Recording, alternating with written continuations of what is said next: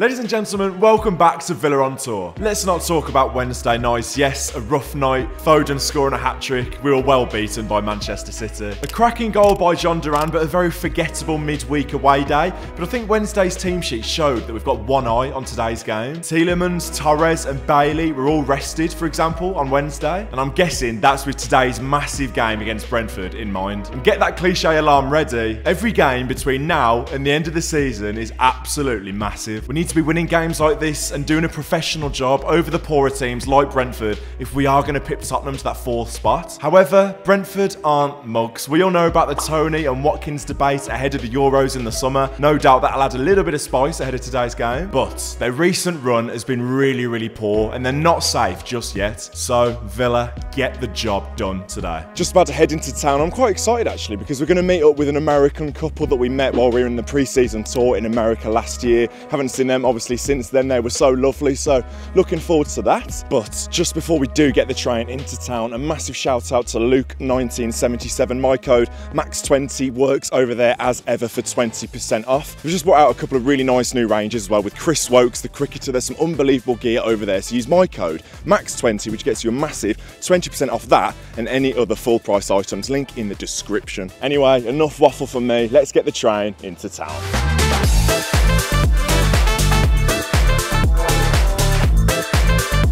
Here we go. We'll have a few beers in Hockley, which is where me and Simon filmed our Q&A the other day. Go and check that out if you haven't already.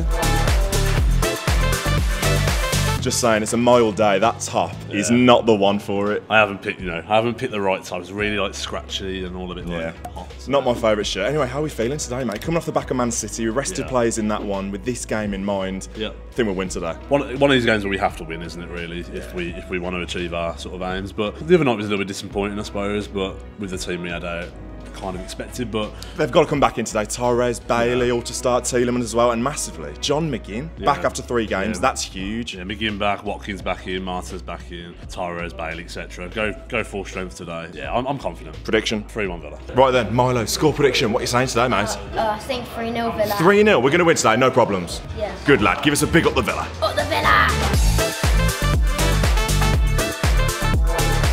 Team news looking pretty strong, mate. Big boys back in. No Toney for Brentford. Looks good. Yeah, it does. No Toney for them. Strange on the bench though, so maybe he's got a knock or something. He must know, have a knock, but it's good to see Villa back in there with the big boys back in their defence, especially Torres. It's looking good as well. So yeah, I'm, I'm buzzing for it. Yeah, I can't wait. Confident now. Confident.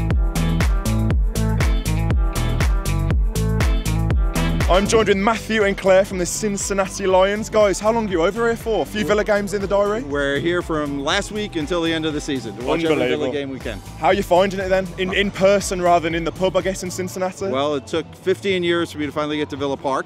Uh, saw them play twice at Wembley before, and last week we loved it, and we can't imagine not loving it the rest of the way. But shout out to my friends back at Rhine House in Cincinnati who are watching on the tube. Unbelievable. Villa are so massive. What a massive club. Anyway, what, what's your score predictions today? Got to win today, haven't we? 3 nothing. 3 0, Claire. 4 1. 4 1. Oh, Claire's confident. nice one, guys. One last thing give us a big up the Villa. Up, up the, the villa. villa.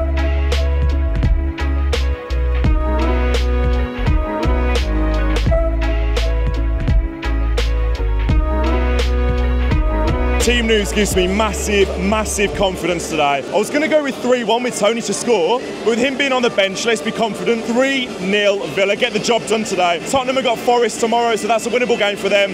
If we get in there early and get a massive three points, that'll be absolutely huge. Robin, what do you reckon today, son? I think there's been like eight or nine changes to the first 11, so I'm thinking all of them should be well rested. We'll go for a confident win. I think I'll go 3 0 as well. Oh, I love it. If John McGinn scores, I'll be absolutely loving it. It's so good to see him back. Big shout out to Matthew and Claire, by the way. We just spent the last few hours with them in the Hockley Social Club, all the way from Cincinnati. Fair play. They were so, so lovely. And it just sort of outlines how big Villa are. Villa fans are everywhere. And when you speak to these international Villa fans in real life, they're so lovely. And it's just, you've got that common ground in Villa it was so, so nice spending pre-match with them today. Kyle, score prediction, mate? 2-1 Villa. We're going to win today? Yeah. Big up the Villa, son. Come on, the Villa.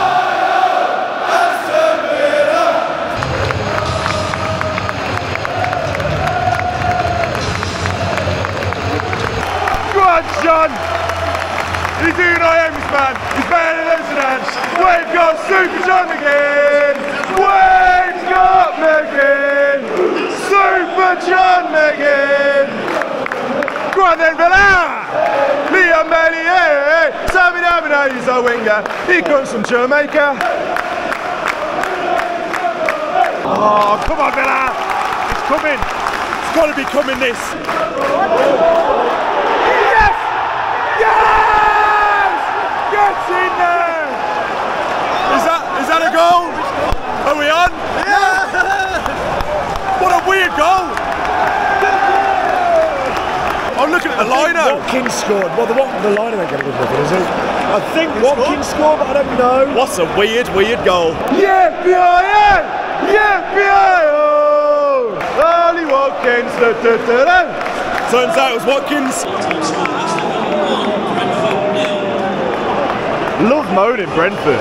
Well, another half where Villa really haven't got out of first gear. Really, really easy. Brentford, one of the one of the worst teams I've probably seen come to Villa Park this season. Sloppy. I didn't really expect it. I think they've got decent players going forward. That Wissa I'm a big fan of and Mbeumo, but they haven't really got going. They're extremely sloppy, Brentford. They just kind of sit back. Even after we went 1 0 up, they're just sitting back and absorbing the pressure, asking the questions of Villa. Can you come and break us down? And I think, like I said, it's one of them where Villa have just controlled it, kept the ball, spraying it from left to right, and just really made it look simple. Haven't really tested the goalkeeper as much as I would have liked. Had loads and loads of corners, not really made the most of them, but it's been really simple. This is Villa's game. Now we've gone 1 0 up at half time. This will be pretty simple for Villa now, I predict. But like I said, though, once Brentford have gone 1 0 down, you'd, you'd expect them to open up a little bit more and there'd be more chances for Villa in the second half. I think shout out to the defence as well. Mopped up absolutely everything. Carlos has been brilliant. Torres has made it look easy. Been really, really good. Rogers has been good as well. Bailey and, of course, Watkins with the goal. It's been a comfortable half. Hopefully, a couple more in the second half. This is Villa's game. Come on then, you Villa boys. Yes. Come on! Yes! Go on, son! Go on! Yes! Morgan Rogers! Yes! Oh, I'm so happy for him! Come on! Yes! Come on! Go on, Morgan! Oh, I'm so happy for him! I'm so happy for him! You know what? He deserved a goal as well. He's been so good last few games. Morgan Rogers! What a man! Smalling get battered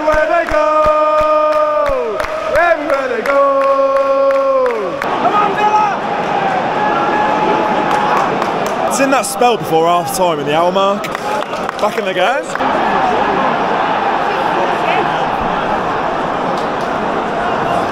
Wow. Jesus Christ.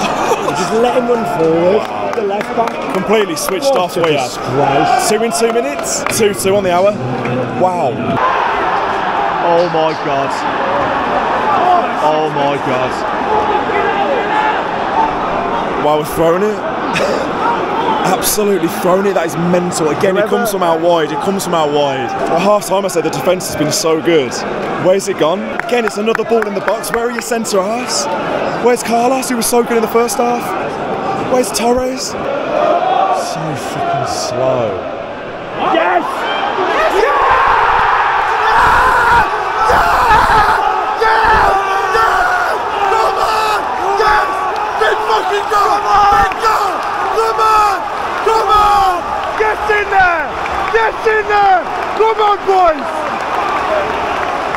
What a ball! Well done! What a ball!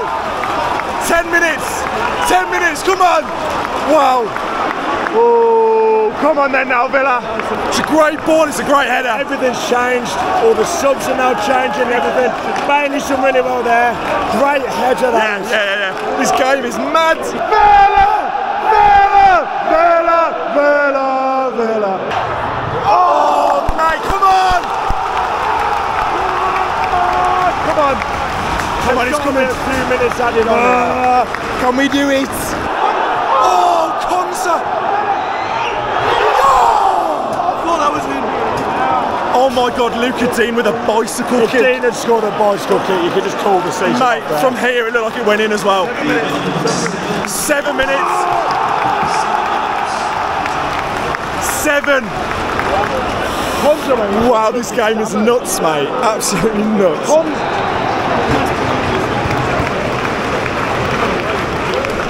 Seriously disappointing that is if you look at the whole picture.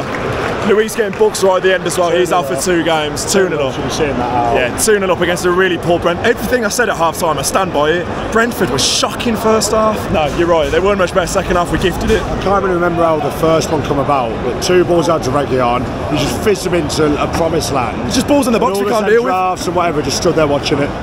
That's not good enough. Seriously disappointing, that is. Seriously disappointing. Well, that was one word to describe that criminal, absolutely criminal. How, how have we done that? Like, I remember being stood there in the Holte and them just scoring the second, and I was stunned, and then they scored the third. Oh, just genuine disbelief. Three goals in nine minutes for Brentford. Three goals in nine minutes. And like I said at the end, every single thing I said at half time, I meant and I believed, and it was right. Brentford were terrible. Brentford were terrible. They were the worst team to come to Villa Park, genuinely. That's not me having a pop because I'm salty. Genuinely, they were really, really poor. And they, they came out in the second half a little bit better. But I just think we gift wrapped it for them. Just at times we can be really, really stupid. And today was one of them times. Like them goals in particular, if you look at each individual one, what the hell was going on with the defence? Konsa looking really poor. Torres in the middle as well. Carlos had a really good first half where he made a really good couple of great challenges, last ditch challenges, and then just switches off. Every single goal came from the same side. It was a cross into the box, low in the air, whatever. Failed to deal with it. At times, Brentford were queuing up. We just basically crapped ourselves. We pooed ourselves and just threw it away. And it was it was terrible. Positives today. Positives. Morgan Rogers. Great to see him get his first goal. To be fair, he loved that. Fair play to him. Ollie Watkins getting a brace. Me and Simon were saying coming out the ground. Thank God we've got Ollie Watkins. Thank God for that. Honestly, I just think our problem is conceding goals. Like you look at the sides around us. Okay, Tottenham. I think it's like 44. Man United 44. Villa on 49. I think we've conceded more than double of Arsenal. We've conceded more than Everton, for example. Things like this can happen. I think it's in the context of the game. Look, you can concede one stupid goal, two stupid goals, but to not switch on and wake up and concede three in a nine-minute spell. Like I said at the top of the list bit, criminal, absolutely criminal. Thank God we got a point as well. Like we could have lost that game. We could have basically just shut down altogether when they scored the third, and we could have just lost three-two. Thank God we got a point. Uh, Tottenham have got Forest tomorrow at six o'clock. We had to win today, and it just puts that Arsenal game next week into into picture. And it's like got to get something there as well. You've got to come up with something decent there. You can't lose Arsenal again. Tottenham gaining ground. Look, I think it could it could swing between us and Tottenham before the end of the season. Like I said, Tottenham got a hard run. They've got a couple of easy games at the end of the season. Just Villa needs to focus on themselves now. And today was really, really poor. Absolutely coasting. And uh, threw it away. Let us know what you thought of that game. Get involved in the comments down below. Um, let me know your, what you're thinking about the wider picture as well. Champions League. You can't get Champions League playing like that, honestly. Please do leave a like on the video as well, that'd be massively appreciated. Subscribe if you haven't already. European games coming up now, Lille on Thursday, and then obviously the away game the week after. Sandwiched in between that is that Arsenal game. So next time I shall see you will be for the European game back at Villa Park on Thursday against Lille. Up the Villa.